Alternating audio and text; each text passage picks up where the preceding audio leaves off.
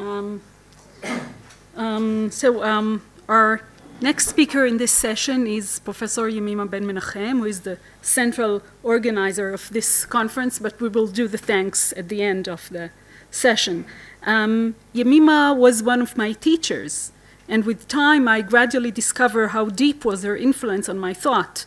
Uh, she's one of the best critical listeners and uh, is what I like to call a real philosopher that has a worldview in which the scientific and other particular ideas are embedded and connected.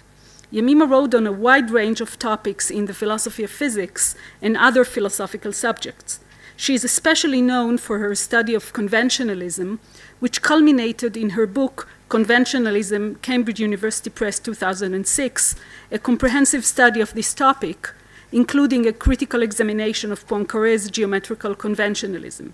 Her current large-scale project is on, on causation, in which she unites the insights she gained in many years of writings on a group of ideas that are often connected by free associations with causation, like determinism or necessity or locality or probability, all of them in physics and elsewhere.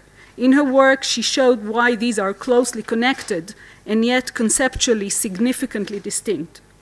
Today, Yemima will talk about space-time and non-locality, revisiting the epistemic approach to quantum mechanics. Please.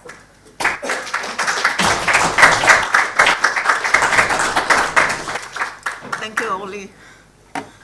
This talk is very much a continuation of the previous one from a different angle. I, I don't argue for a new interpretation like Daniel did. I want to do a, a survey, uh, a, not exactly a history, but more a survey of earlier interpretations. And uh, Einstein will come up somewhere in the talk. We're celebrating this centenary. Um, so this is my title, and uh, when I think about it uh, to myself, I'm thinking it more light-hearted is where are Alice and Bob, um, who have already appeared in Daniel's talk. So we know that quantum mechanics is non-local, and we know that uh, it, it, sanctions entangled states, and entangled states uh, manifest more correlation than allowed to by uh, classical intuitions. And uh, initially, the worry was that they allow more correlation than are allowed by the special theory of relativity, and that was a big concern. And then uh, the philosophical or the, the, community of physicists uh, discovered that by making a distinction between um, the demand for locality and the demand for no signaling, one can have a, a, a certain amount of non-locality without violating the principle of special relativity, the principle of no signaling. I think this is a very deep conceptual distinction. We don't know, as Daniel said, we don't know exactly how it works. Um, indeterminism comes in essentially to make this distinction possible. Without it, non-locality uh, non would allow signaling. Um, but anyway, uh, there is a worry there, and there is a worry about uh, whether it violates uh, uh, other theories um, about space-time. Um, and so the question is, is quantum locality, uh, quantum non-locality, a space-time phenomena? And the answer seems obviously yes. It is a space-time phenomena. How else, if not in a certain framework uh, of space-time, wherein certain correlations are allowed and others are not allowed, can we even make sense of the notion of non-locality? And yet, this intuitive, positive answer has been challenged um, by a number of people, among them our late wonderful friend and colleague, Itamar Pitowsky, who says, altogether in our approach, there is no problem with locality. And the analysis remains intact no matter what the kinematic of the dynamic situation is. The violation of the inequality is a purely probabilistic effect. the derivation of Clauser-Horne inequalities is blocked since it is based on a, a Boolean view of, view of probabilities as weighted averages of truth values.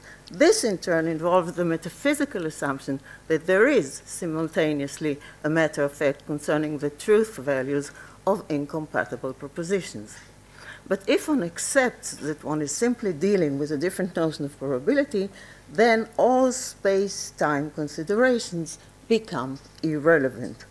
And in a joint paper with Jeffrey Bub, uh, they go on to say that the same goes for no signaling.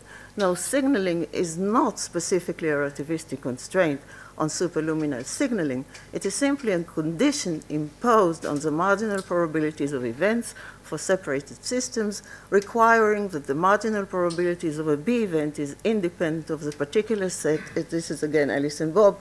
Uh, independent of the particular set of mutually uh, exclusive and collectively exhaustive events selected at A and conversely. Uh, now, this view that we're talking with mathematical or logical constraints, not with any physical constraints, is based on the epistemic interpretation of quantum mechanics. and therefore, in order to deal with the question of whether non-localities in space-time, we should look at the epistemic interpretation. And so most of my talk will be a kind of historical review of the epistemic interpretation of quantum mechanics. So these claims about non-locality and no signaling uh, are based on the uh, epistemic view. And on this view, the state function, or rays in Hilbert space, do not represent physical state of the system in reality, but rather some epistemic states of knowledge or belief or information. And this is a good start. But how are we going to end this sentence? It's fragmented, right? So we want to know knowledge or information about what. And the reason I want to look at the history of the uh, statistical interpretation is, is that exactly in how we fill in the rest of the sentence, there is a big difference between earlier attempts at an epistemic interpretation and current attempts at an epistemic interpretation. And so it seems that different epistemic interpretations share the negative claim that it's not, the wave function does not represent reality, but uh, they uh, differ in what the state function still can be. So they differ on the positive part.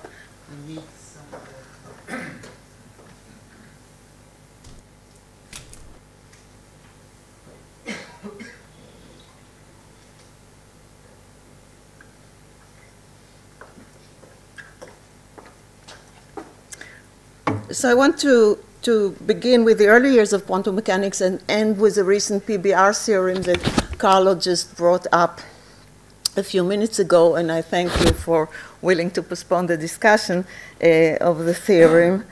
And uh, I want to take this opportunity to thank a few people who uh, helped me. So first of all, Guy Hetzroni, who has uh, introduced our discussion group in philosophy of physics to the PBR theorem, and Daniel, with whom I spoke about it, at Meir, whom I spoke about it, and um, Bill Demopoulos, who is not here, but Roberto can tell him that in our correspondence, his, my correspondence with him helped me to clarify things, and uh, I want to thank him too. So, realization that there is something very strange in the probabilistic interpretation of quantum mechanics uh, came very early. Immediately when Born suggested his probabilistic interpretation, he says, Die Bewegungen Partikeln folgt Wahrscheinlichkeitsgesetzen. Uh, that is, the, the motion of particles uh, obeys probability laws, the Wahrscheinlichkeit selbst, but the, the probability itself uh, um, develops according to the causal principle, Kausalgesetz. And uh, he further says that it is, it's clear that quantum mechanics only gives answer, answers to well-posed statistical questions. And he spoke of eine eigenartige Verschmelzung von, von Mechanik und Statistik. Now, I, I don't know how to translate Verschmelzung, so a mixture, right? Integration. What? Blending. Blending, yeah, but it's, you know, so Verschmelzung. Strange. Uh, yeah, uh, so there is something strange there. And this formulation is not very different from a much more recent one that Jaynes gave, gave and uh, that uh, the PBR, uh, Pusey, Barrett, and Rudolph quote in their paper. Jaynes says, but our present quantum mechanical formalism is a peculiar mixture describing in part realities in nature, in part incomplete human information about nature, all scrambled up by Heisenberg and Bohr into an omelette that nobody has, been, uh, has seen how to unscramble. So, exactly the same worry. We don't know what to do with this mixture. Um, the only difference is that Jaynes already presupposes an epistemic interpretation of probability, uh, but at this stage, I don't think it was necessary to presuppose an epistemic uh, interpretation of probability. And as we will see, uh, most of the people who suggested an epistemic interpretation um, of quantum mechanics uh, did not understand probability in this subjective sense. So it, we can break up the question of what is strange about this Verschmelzung, about this mixture. We can break up the question into several questions. The first one is what do quantum phenomena such as superposition, interference, and entanglement mean under this interpretation? It was very clear what they meant under the, the original Schrödinger interpretation, but already in, in 1926, Schrödinger realized that it couldn't be so simple. We're talking about configuration space, we're not talking about three dimensional space, and something must be done about it. Um, and, uh, but even after a Born's interpretation, where, where the original three dimensional wave has disappeared or collapsed, um, we're still talking about interference, right? And uh, we're still talking about entanglement. And if we're just talking about information, there is no intuitive picture uh, behind these notions. And more than that, and here again I want to mention Guy, the phase, the, the, periodicity that appears in every interpretation of quantum mechanics is very intuitive from a, a realist interpretation of quantum mechanics, very unintuitive from an epistemic interpretation of quantum mechanics, and it's a project of research that uh, Guy is, is uh, working on. The other question that is important is what is the status of the uncertainty principle according to the ensemble interpretation. Now, here I'm using ensemble interpretation and not statistical interpretation. Uh, in the quotation from Jaynes, uh, uh, epistemic interpretation was just that, epistemic and subjective. But actually, with a, a probabilistic interpretation, there was also the uh, uh, even more natural idea that we're talking about probabilities like in statistic, statistical mechanics. We're talking about ensembles.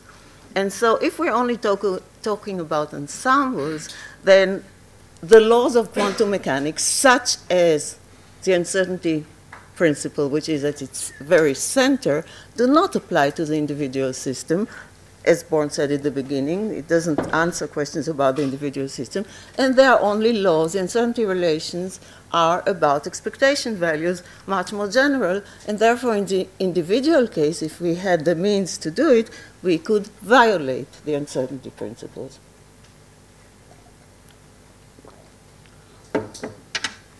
So here, I want to mention a letter that Einstein wrote to Popper and um, uh, about this this problem. And uh, Popper is one of the people who uh, uh, uh, advocated a probabilistic interpretation in the sense of an ensemble interpretation, that quantum mechanics only talks about ensembles, doesn't say anything about the individual system. And he was, um, well, to me it seems a little careless about uh, all the problems that this interpretation involves. And among other things, he was willing to say that, of course, we can violate the uncertainty relations in the individual case. And he had an idea about how to do this, and he wrote to Einstein about it. And um, I mentioned this letter because in the recent uh, literature, it has become common to uh, repeat Fine's claims and to say that Einstein was very dissatisfied with the, with the EPR paper, not to be confused with the PBR paper. Einstein was very unhappy with the EPR paper, and it's only the correspondence with Schrödinger that he really gave the argument as he believed it. And I think everybody repeats these claims, and they have their truth because the correspondence with Schrödinger is important. I'll return to it later, but um, I think in this paper to Popper, we'll see Einstein endorsing the EPR paper, endorsing even the um, notorious reality criterion that supposedly he didn't like because it was Podolsky who penned the paper and not him. Um, it's true that Popper asked, what, what is this new paper? I haven't had a chance to read it, and so Einstein summarized the paper, but he could have said, but I don't agree exactly with what we said there. But the, the so this is one issue one reason to bring up, uh, up this, this letter. But the other reason is more important that Einstein specifically rejects Popper's uh, suggestion to violate the uncertainty relations in the individual case. And he says, you can't do that. He agrees with Popper. He says the psi function characterizes a statistical aggregate of systems rather than one single system. And he says further that this view makes it unnecessary to distinguish more particularly between pure and non pure states. This is so the statistics here, according to Einstein, is analogous to statistics in statistical mechanics, but he has an in principle object, objection to Popper's idea of simultaneous measurement of position and momentum of the photon. So not just to this particular suggestion, but in principle, this notion came up today uh, already in other talks. And, uh, and then he describes the EPR uh, experiment. And in this particular EPR experiment, he says we can finally show that we can violate the uncertainty relations in the individual case. So Spekkens and others have said, well, Einstein didn't uh, care about violating the uncertainty relations. This was not the rationale of the EPR paper. So here he says very clearly one can therefore hardly avoid the conclusion that the system B has indeed a definite momentum and a definite position coordinate. So Verschmelzen. You cannot do it in one case, you can do it in the other case. Uh, we'll go back to, so the first problem was super uh, interference and the phase. Second was the uncertainty relations. The third question about the, this mixture is disturbance by measurement. Is it a physical process or is it something different. Somehow information gets lost in order to keep the limit on information that quantum mechanics um, sets. And, but we don't know anything about physical disturbance. The fourth question, which will be very much at the center uh, uh, later on when we get to the PBR uh, uh, theorem, is about the relationship between the probabilistic description of the ensemble and the description of the individual system, which by hypothesis is not given by quantum mechanics on the statistical interpretation, on the ensemble statistical interpretation. So, do we have here some kind of analogy with statistical mechanics? What happens in statistical mechanics? We have a micro level, we have a macro level. We can define all kind, we can define all kinds of, of physical properties on the macro level. They are related to the micro level, somehow very sometimes very naturally, like in, in, the case of temperature or pressure. Sometimes in a much more uh, sophisticated way, like in the case of entropy. But in any case, we have what philosophers call supervenience. So if we have a macro state, it can be realized by many microstates. Um, but the reverse situation is not allowed in statistical mechanics. We cannot have a physical state at the fundamental level which is correlated with two macro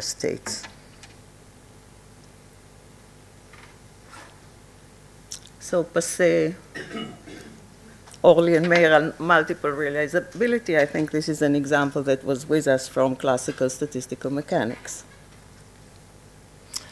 And then uh, we have two features. So, so, so, far we had more problems with the ensemble interpretation, but we also have two features that give it a great advantage. And one is the collapse. On the, on the statistical interpretation, there is no problem, problem of collapse.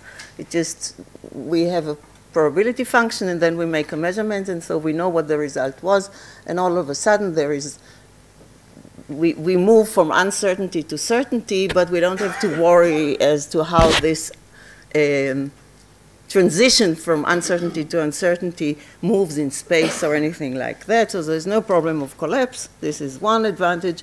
And another advantage may be on the philosophical level. Perhaps some obscure notions like duality and complementarity are also made, made redundant by the uh, statistical interpretation.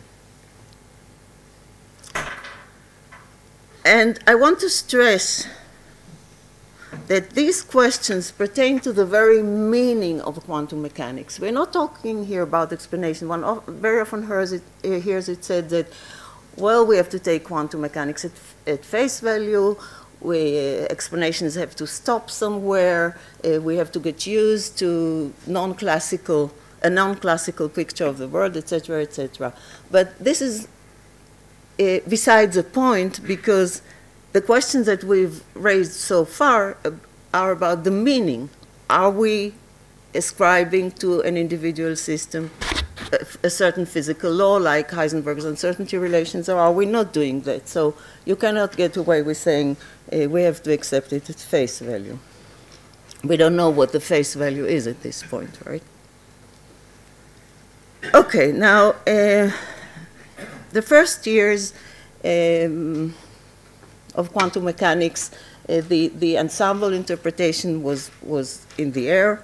Um,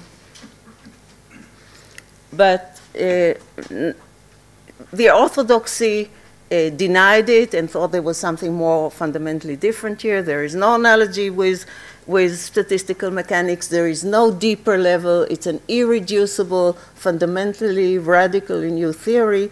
Other people, uh, Einstein among them, objected. Um, not much progress was made. Um, ironically, uh, it is Schrödinger who, in my view, is the hero of this story. And I think more than Einstein, he realized what the problems were. And so I have a, a series of um, quotes here from Schrödinger. How am I doing this time? Okay, fine. So I'll read them because I think they are uh, uh, really illuminating. This is no longer in 1926, it's 1935, and it's already a response to the Einstein-Podolsky paper, but uh, in the same year. Uh, but uh, see how clearly he, he, sees the situation. One should note that there was no question of any time-dependent change. It would be of no help to permit the model to vary quite unclassically, perhaps to jump.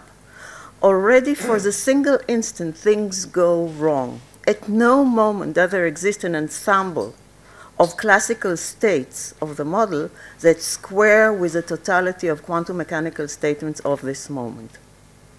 The same can also be said as follows. If we wish to ascribe to the model at each moment a definite state, a definite but not exactly known to me state, or to all determining parts definite, merely not exactly known to me numerical values, then there is no supposition to these numerical values to be imagined that would not conflict with some portion of quantum theoretical assumptions. So it's very clear to him that it, we cannot ascribe these values. Uh, we, we will already run into conflict with quantum mechanics. I don't think this is something that Einstein saw. And consequently, Schrödinger takes the uncertainty relation to constitute neither an epistemic limitation of what can be known. In a sense, yes, epistemic interpretation, it's not, it's not uh, the best formulation. um, I mean, you cannot violate them nor a practical limitation on what we can measure or prepare. Rather, they constitute a fundamental limitation on the assignment of value to all physical magnitudes at a particular moment. And accordingly, the classical notion, I thought, uh, well, here there is a, it's a quote again. Accordingly, the classical notion of state becomes lost in that, uh, at most, a well-chosen half of a complete set of variables can be assigned definite numerical values. That's exactly the assumption that Spekkens in a toy model of the epistemic interpretation uh, makes. And Schrödinger therefore goes on to rule out the possibilities that quantum probabilities and uncertainties are analogous to probabilities in statistical mechanics. And this is a huge difference between him and Einstein that we uh, sometimes ignore when we uh, lump both of them together as opposition to the Copenhagen interpretation, a huge difference uh, between them. And Schrödinger takes a psi function to represent a maximal catalog of possible measurements, very similar to Pitowsky formulation in the paper I quoted uh, uh, from above, a bookkeeping device. It embodies the momentarily attained sum of theoretically based further expectations, somewhat as laid down in a catalog. It is a determinacy bridge between measurement and measurement. So this is as close to the epistemic interpretation um, that one got at this early stage. And as such, he says, the implication is that upon a new measurement, the psi function undergoes a change that depends on the measurement result obtained and so cannot be foreseen. Okay. So what follows from this regarding the, these strange correlations that we find? The maximality or completeness of the catalog, a consequence of the uncertainty relations, entails that we cannot have a more complete catalog. That is, we cannot have two psi functions of the same system, one of which is included in the other. And therefore, now it's a quote, therefore, if a system changes, whether by itself or because of measurement, there must always be statements missing from the new function that were contained in the earlier ones. So we have a loss of information. I delete uh, the uh, next quote because it's more or less the same. And now comes entanglement. This new feature also follows from the maximality or co completeness of the psi function, and completeness in the sense of catalog of measurement, remember. And he argues as follows. A complete catalog for two separate systems is ipso facto also a complete catalog of the combined system, but the reverse does not follow. Maximal knowledge, this is a quote, maximal knowledge of the total system does not necessarily, necessarily include total knowledge of all its parts, not even when these are fully separate separated from each other and at the moment are not influenced and not influencing each other at all. And the reason we cannot infer such total information is that this is not a quote, is, is, that the maximal catalog of the combined system may contain conditional statements of the form if a measurement on the first system yields a value x, a measurement on the second will yield the value y, and so on. So if the conditional statements uh, um, uh, justify the claim made before that the maximal uh, knowledge about the combined system does not entail maximal knowledge about each of the uh, partial systems. And as you know, it was exactly the argument of the EPR that we must assume that there is somewhere, even if we don't know it, a, possibility of knowledge about each of the system, or each of the systems should have a determinate physical state. And Schrödinger here says it's not so. So another thing that I think we ignore sometimes in the history, I don't want to blame any of you ignoring, but I know that in the literature, uh, the thing is ignored that um, Schrödinger really, very politely, responds to the EPR argument by a very pointed critique of the EPR argument. It doesn't say so explicitly, but, but he said, he, he, actually the argument is that the EPR argument doesn't work, right? It's the EPR argument purports to show that correlations between the remote parts of the system, the conditional statements, entail that each individual state has a determinant value prior to measurement, and by contrast, Schrödinger argues first that such determinacy is precluded by the uncertainty relations properly understood, and second, that given his reading of the psi function as a maximal catalog of possible measurement, the indeterminacy of individual outcomes makes perfect sense. So I think this is the best critique, better than Bohr's and better than others, of the EPR argument given at the time by a fellow opponent of the Copenhagen interpretation. And yet, Schrödinger makes it very clear that entanglement is brought about by a physical process and that it engenders the problem of consistency with the special theory of relativity. So uh, all the ingredients of a radical epistemic interpretation are there, but without the claim that, well, we can be nonchalant about space and time. It's not really a problem about space and time. So, a summary of the first phase of attempts at an epistemic interpretation are that we have an ensemble, in general, an ensemble interpretation rather than a Bayesian interpretation, uh, but it really doesn't matter so much. At this point, it doesn't make a big difference. That there is this analogy with statistical mechanics, that there are open questions about the uncertainty relations, and the, the big issue is that we don't have a problem with collapse. And most people who supported an ensemble interpretation went that way. And Schrödinger, who did not exactly support an ensemble interpretation, really offered us for consideration this kind of interpretation. He was looking for different things. He thought it was a problem for quantum mechanics that this is a corner it pushes itself into, but at least he, he saw the corner. okay.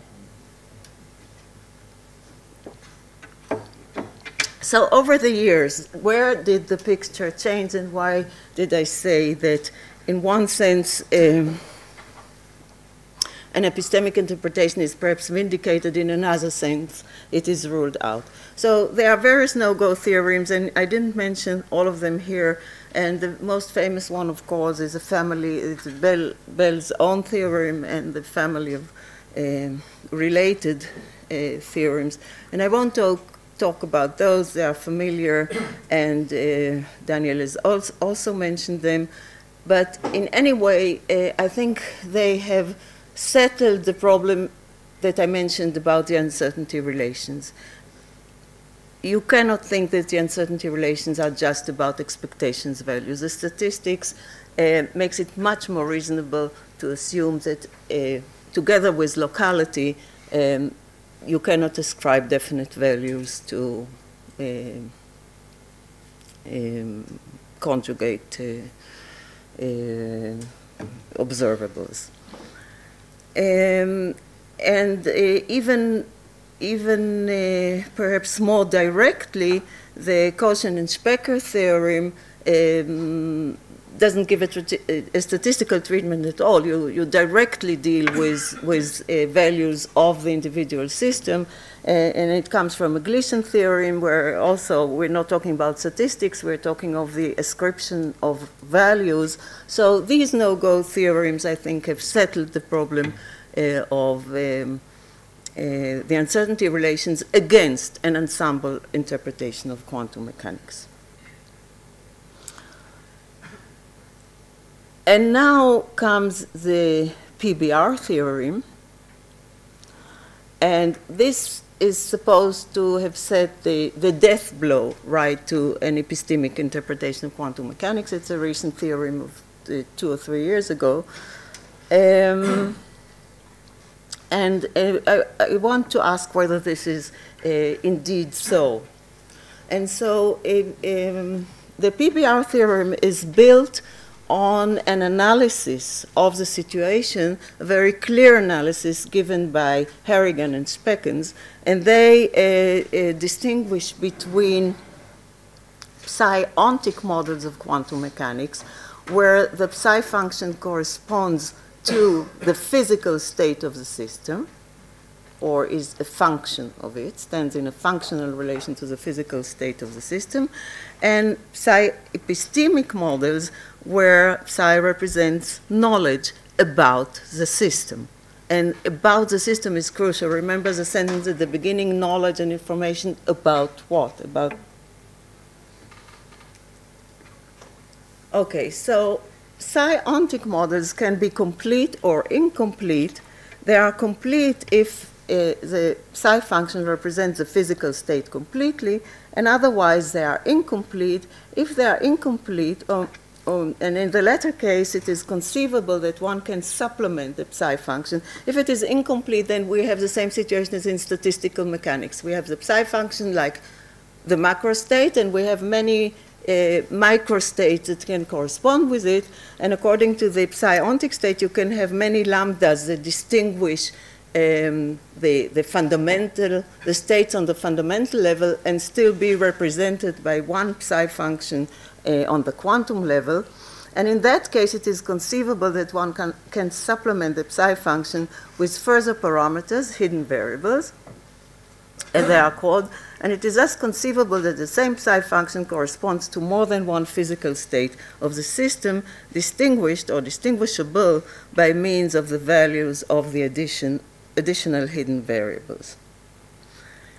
Um, now, psi epistemic models can also be complete or incomplete. It turns out that it's the limited quantum uh, mechanics sets to completing uh, epistemic models are, are, apparently much more severe. And it's not so easy to invent a, a theories that violate them as a, to complete quantum mechanics on the ontic level. And um, uh, the idea behind epistemic models or the criterion for it is that if uh, the psi function is epistemic, then it can stand in a non-functional relation to the physical state of the system. That is, two different, non-identical, but not orthogonal functions can correspond to the same physical state. And this is the criterion that they suggest. If we really have an epistemic interpretation of quantum mechanics, then it is conceivable that two different psi functions uh, correspond to the same physical state of the system. This is the analysis of uh, Harrigan and Spekkens, and this is the criterion that they suggest. So, in a psi-ontic model, we have psi and lambda. Lambda is the, the, real state of the system corresponding. We can also have a situation where psi represents the physical state, but it's not a complete representation, so there are states that we can distinguish, lambda, lambda 1, etc. Um, and then in the case that we have an epistemic interpretation or epistemic model, we have two psi functions representing, corresponding to the same physical state. This is the uh, psi-epistemic case. And of course, we have to think of uh, uh, not only deterministic cases, but probabilistic cases. So to each psi, there will be a probability function. And um, the criterion would then be that if our model is psi-ontic, then there can be no two psi functions whose uh, uh, probability functions overlap, or that the su supports of the probability functions they stand for have a, an intersection. Where, whereas if we have an epistemic model, this situation is indeed possible, and we can have two psi functions whose probability distributions overlap, uh, um, and this is a criterion. Now, PBR come in and they want to test um, uh, or, or, to answer the question of whether, whether epistemic, uh, such epistemic models, where epistemic is understood along the lines of, of uh, Harrigan and Spekkens, whether such epistemic models are in harmony with the predictions of quantum mechanics. And their conclusion, what they demonstrate is that uh, they are not. Where am I with time? Okay. So before I get to their conclusion, let me uh, again bring Einstein into the picture. This letter that I quoted from Einstein to Popper, and also this is the same in the correspondence with Schrödinger. Uh, this is really the complaint that Einstein makes. He says, now it is unreasonable to assume that the physical state, and again you have to think of an EPR um, situation with Alice and Bob as we Einstein didn't speak of Alice and Bob. Now, it is unreasonable to assume that the physical state of B may depend upon some measurable, a measurement carried out upon system A. So uh, uh this is no, no signaling, if you want, uh, again, which by now is separated from B so that it no longer interacts with B. And this means that two different psi functions belong to one and the same physical state of B. That is, if we make one measurement at A, then we'll get, we are predicting we have one psi function to describe the situation at B.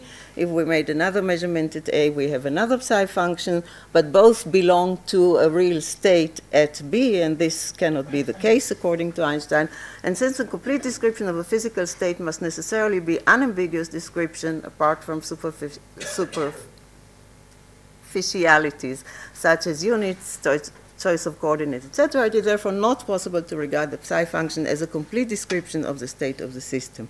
So Einstein's conclusion is that exactly it's an epistemic state, but as I said before, epistemic state analogous to probability in statistical mechanics, an analogy that he makes until very late in life, but in statistical mechanics we don't have this situation, right? We still have supervenience, and here we are deviating from supervenience. So here there is something unclear, I think, uh, to me about Einstein's critique. Or maybe it was a deeper unclarity in his thought about the distinction between psi-epistemic and psi-ontic. So PBR, as uh, I said, raised the question of whether a psi-epistemic interpretation of the psi function is consistent with quantum mechanics, and their no-go theorem claims that it is not. So we don't have to repeat the, the proof. Uh, we have the paper, and uh, let's assume that the proof is okay. There are te technical issues that uh, one can attack. For example, um, uh, there is a, a, paper, two papers by Schlosshauer and Fine, who find uh, uh, technical problems with the proof, and I'm sure there are other people who joined in in the discussion, and so you can probably find some loopholes in the theorem and a more technical assumption that they make, certainly when they go from the case of two systems to the n system case, then th there is some uh, uh, problematic assumption there that they call preparation independence. But I think the more fundamental issue is, and here I think I uh, disagree with a, a, a common reading of a theorem, or maybe it's not, I didn't do the statistics, I don't know. It seemed to me that it is a common reading of the theorem that it really rules out an epistemic interpretation of quantum mechanics. But I think it only rules out one kind of epistemic interpretation of quantum mechanics. It rules out the interpretation of quantum mechanics that completes the fragmented sentence that I mentioned at the beginning, it is knowledge in, and, or information about the real state of the physical system. If it is knowledge and information about the real state of the physical system, then indeed, and if the theorem is correct, then uh, indeed you rule out a certain kind of epistemic interpretation.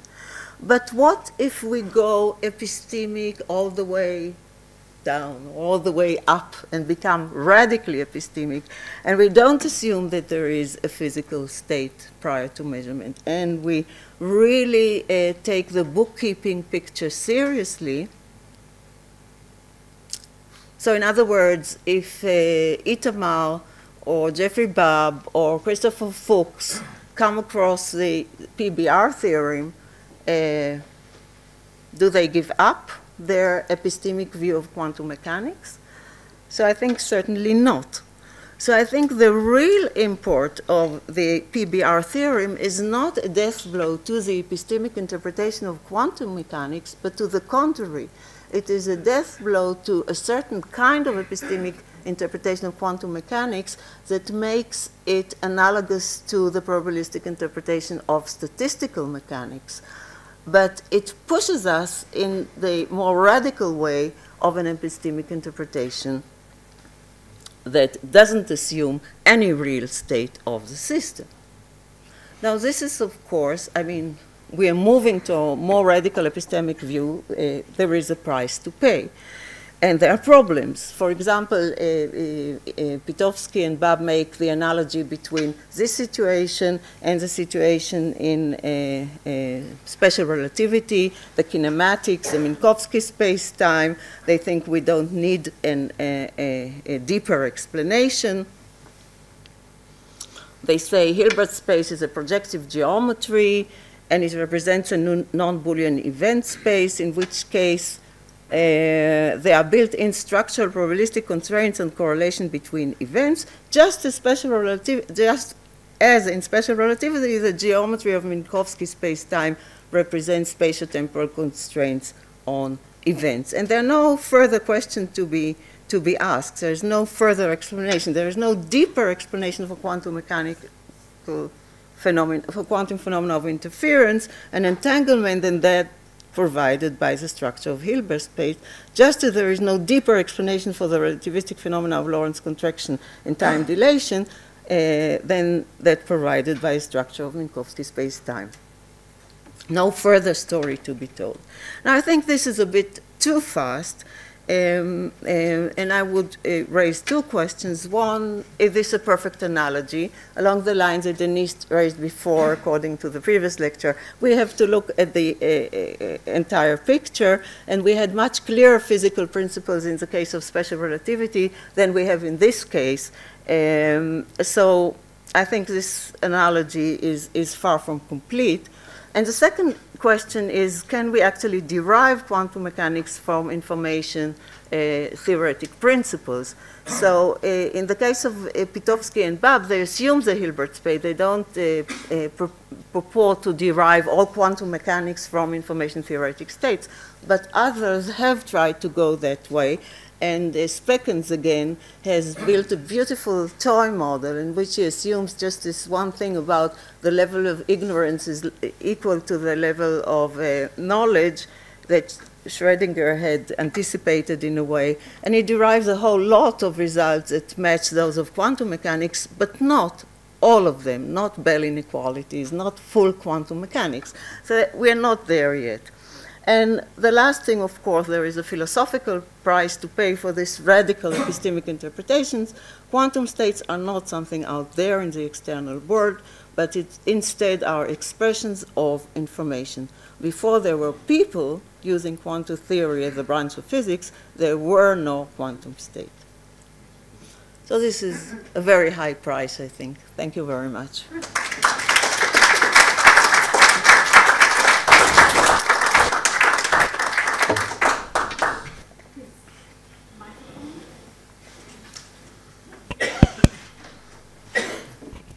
Well, uh, I just want to point out that there's a literature also some recent results precise in this direction and the derivation of quantum mechanics from a purely informational uh, point of view. Um, unfortunately, I'm very bad with names. I'll come out. Um, I have a paper 15 years ago on the relational interpretation of quantum mechanics, uh, which is epistemic in the sense you mentioned, exactly in the sense you mentioned, uh, without going to the almost idealism of uh, Fuchs. Uh, um, uh, but there is also recent papers. There's one this summer in which, uh, uh starting from uh, a simple set of axioms, uh, which are purely informa informational, information in terms of information, derive the Hilbert space structure. So there's a, there's a, lot of activity in that. Um, well, make two small remarks uh, with respect to what you said. I, I was extremely sympathetic on everything you said, uh, including your comments about BPR, which I think is uh, completely correct. I think it has been sold even to the large public for much more than uh, what it is. Um, the two comments are the following. First, uh, um, one can uh, give up the notion uh, that uh, the wave function or the Hilbert space uh, state uh, um, has an ontological significance uh, entirely, um, keeping an ontology uh, which is just the result of the quantum events, the result of the quantum events. The original Heisenberg intuition that uh, the electron is something that manifests itself when it hits against something else. That's the core of the relational interpretation. I mean, the, the you can describe the world as different uh, uh, subsystems when they interact, uh, quantum events. Um, that's what reality is about, according to the theory. And uh, um, the uh, wave function is a bookkeeping of previous interactions in the uh, bookkeeping of previous interactions. So it's just a way of, and of course, a device for calculating the probability of future outcome of interactions. So this is a possibility. It's a it, it's it's an open way.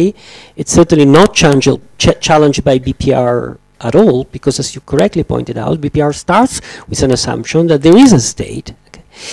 Now, but the second comment I want to make is um, it's a content thing. Um, how would I put it? Uh, Kuhn, uh, if I want to know a new theory, what is the meaning of something in the new theory, I just look at the limit in which the new theory gives the old theory and I recognize it, what it is. I want to know what is mass.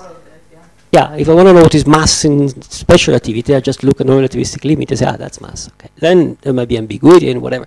Now, if I take psi, Schrödinger psi, and I look at the classical limit or semi-classical limit, I see what it is, right? It is a Hamilton function. It is exponential of the Hamilton function, which is what? Uh, which is something that nobody would dream in classical mechanics to uh, weight with an ontological interpretation. Okay, it's like giving an ontological interpretation to the Lagrangian or to the equation of motion. That's not nobody would think about that. So, quantum theory splits has split in the way we learn in textbook uh, uh, what we call state from the the, the, the, the quantum events, the manifestation, the, the outcome of interactions, which are described by the eigenvalues of the uh, of the operators. Uh, um, I'm with you entirely in uh, this idea that the possible route to get out of the confusion is just to take away entirely ontological weight to this wave function, this this this, uh, this state, and uh, of course there is a weakening of reality if I, we think that the electron is something that only uh, happens uh, in certain moment in uh, uh, in space in time. But this weakening of reality, it's um, sufficient to have a realistic or we we weaken weak realistic interpretation um, of the uh, of the world, and uh, uh, it's uh, a, a, a, a, full response to BPR is a fully open way. Um, I never used epistemic for describing, as you correctly said, epistemic might mean different things, right? If by epistemic we mean uh, the wave function does not have to be taken as a description of a real state of affairs, uh, then it is definitely epistemic or relational interpretation. Um, if by epistemic uh, we mean uh, uh, the theory only describe uh, the state of knowledge of humans, then no, I think one can have, one can, if one wants, one can still have a, a, a, a more realistic view of reality, even without a quantum state interpreted realistically. Okay, thank you. um, yeah, about whether we can derive quantum mechanics, I didn't say we cannot, and, and I, I'm just saying that in the re- recent literature there are attempts to go in that direction. They are not fully there as far as I know, but maybe in two years they will be fully there. So I was raising it as a question. Um, now, as I was preparing this talk, I changed my mind, and I, I think this is a part of the um, perhaps ambiguity uh, about the message of this talk because I started out with thinking about all the difficulties that the epistemic interpretation has and that Alice and Bob are not in space-time and it's all a probabilistic uh, um, um, constraint or revolution in probability but not a revolution in physics or something like that. And I, I uh, starting from a very critical point uh, against uh, this interpretation. So initially I thought I'm just criticizing the epistemic interpretation. And, and uh, the way I, I understood the PBR theorem in the beginning was the way that you say it was sold to everyone, like uh, the blow to the epistemic interpretation, so wonderful. Uh, but as I read uh, uh the, the theorem again, it, it appeared to me that that's not the case. So I was a little bit in the situation of the prophet Bilam, who was called in to curse Israel and, and turned out blessing them um, that I saw that there is a, a loophole, there is a way out. And, and um, on the other end, it's not that I want to recommend this way out. I'm saying here is a problem. One certain intuitively clear epistemic interpretation is, I think, ruled out.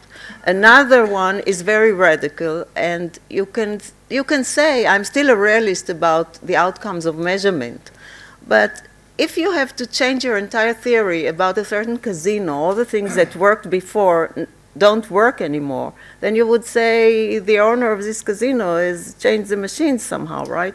So if all of a sudden we cannot gamble anymore in the classical way, we have to gamble in the quantum way. We want to know what changed in reality.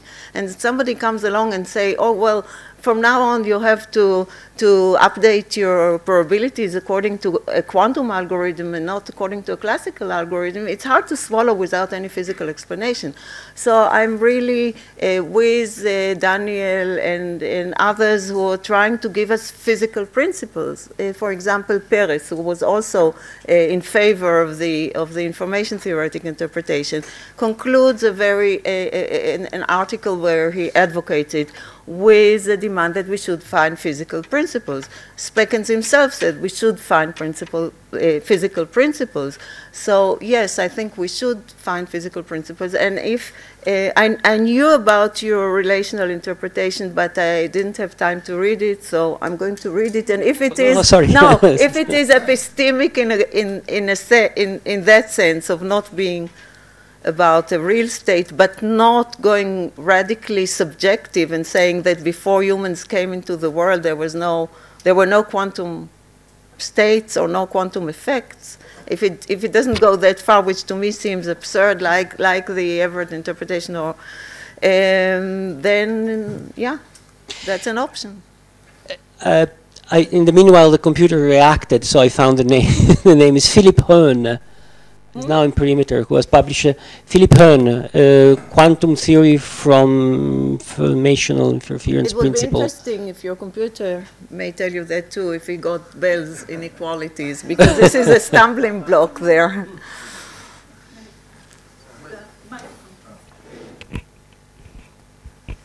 Just, uh, just maybe two short comments, uh, and just to say that I, I, I, I think I certainly agree with, with your take on the PBR theorem, and I would even say uh, something more, maybe that that you didn't say, is that I don't, I'm not even, well, actually, I don't really think that even the modest conclusion that that you that you you, you were willing to to associate with the PBR theorem, namely that it rules out sort of classical epistemic interpretations or, or, something like this. I don't even think that this is true. Th this even weaker conclusion is true because in some sense Bohm's interpretation is is something like this and PBR theorem doesn't rule it out. So yeah, so, so, so the, the only thing that they rule out is a very sort of classical, I mean some specific sort of classical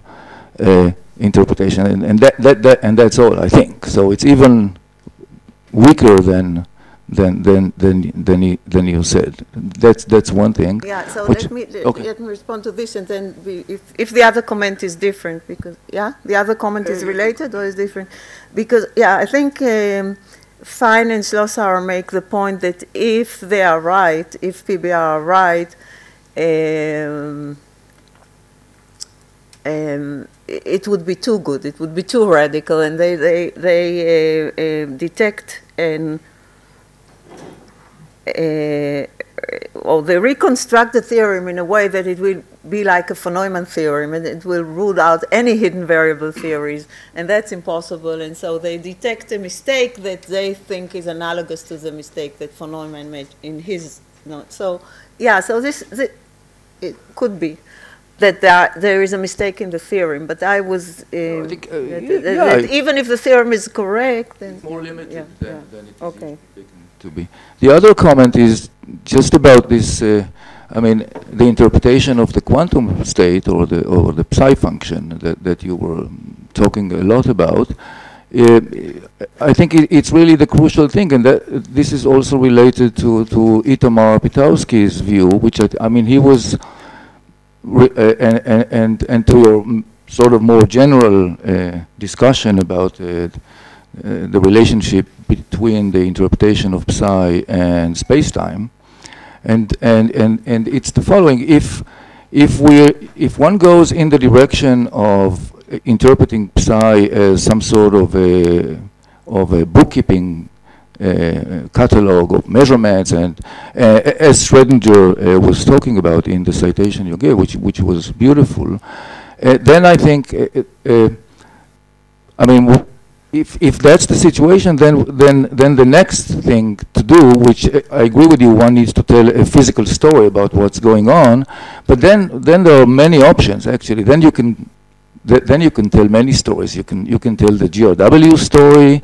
You can tell it maybe even Bohm's story. If, if, but we want a good story. yeah, yeah, yeah. But but then, uh, and this is why I think Itamar was uh, reluctant. I mean, I mean, for him it was more or less the last stop because there, there. I mean, the story. I mean, all all bets are off now, and we can we can tell many stories, and it's interesting, of course, to pursue this. But that's the. That's I think that's how I see it. Yeah. I was thinking of Poincaré, for example, when he, when he said that uh, non-Euclidean geometry is also consistent in the world, not just mathematically speaking. So he bothered to give us uh, different physical laws than those that we have that would implement. So of course it was a toy model and it wasn't all the physics, that, but, but he showed how to do it in several cases. And here, we don't actually have that yet. We have various attempts, okay, GRW, but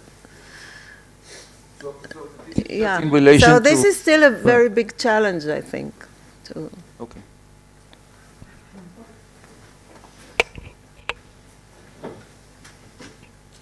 Thanks. That was really full of interesting things, um, particularly about Schrödinger. I think my my comment is uh, partly anticipated by by Myers, but you talked about the the price one has to pay for an epistemic interpretation, and uh, I would like to. It, it seems to me that really there's some there's some heavy price to be paid for any interpretation of quantum mechanics, right? And the question is you know, where should we locate, uh, what are we willing to give up? Uh, it's, an ex- it's an extreme step beyond any interpretation of quantum mechanics to take the view that, that Fuchs, for example, takes. But in the case of, say, uh, and, and, and Bub, the way I understand that is this is an attempt at a kind of, the reason why they compare it to the case of Einstein and Minkowski is that they, they think this is one way of articulating what it is to be a sort of realistic about what quantum mechanics is telling us. It's telling us something about the world. It's telling us something peculiar about its structure. And what we have to give up is a certain assumption about the way in which events are structured. And so the, the objection, well, we, we wish we had a, a kind of physical principle. Uh, it strikes me as analogous to an objection made by Lorentz to, to Einstein to the effect that, well, he's just assuming what we've struggled so hard to derive. In other words, to derive from physical principles.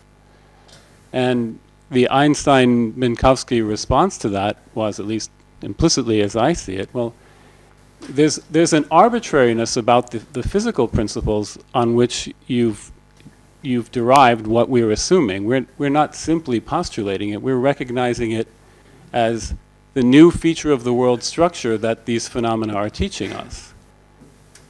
And, and that's the spirit in which at least I read uh, and, and Bub.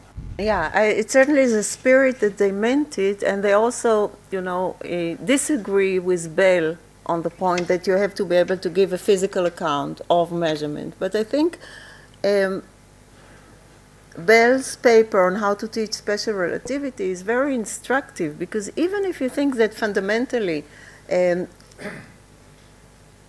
the, the kinematic explanation of a Minkowski space-time is, is the most elegant and as Denis said also more uh, in harmony with the rest of physics, you should be able to answer questions such as if the thread breaks, and if it breaks, how does it come that it breaks? What tensions are there? What makes it break?